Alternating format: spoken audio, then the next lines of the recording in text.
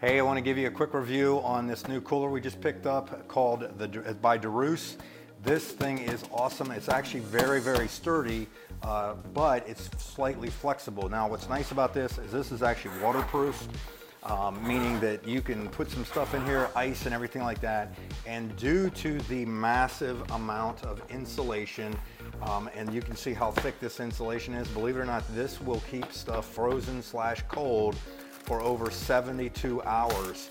Uh, so it's really good. You could probably put um, about 18 12 ounce beverages in here if that's what you were trying to do.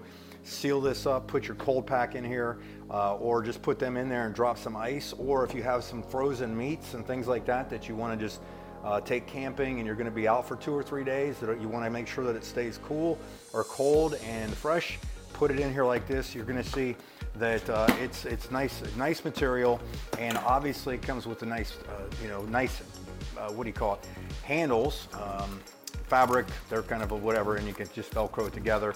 And one of the nice parts is that it does have, this will attach right here, so you can actually do one of these. So you can kind of carry it like a backpack. So I kind of like the fact that it's got handles. Uh, it's got my handle like I normally would do it. And then, hey, I'm ready to kind of rock and roll, uh, walk around a little bit.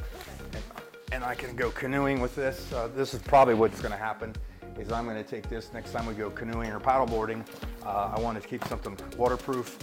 Put some stuff in here, put some food in here, put some beverages in here, and be good to go. Good to go. But if you're looking for one, uh, Deroos makes some really good products. This is very durable, very uh, good, uh, good material.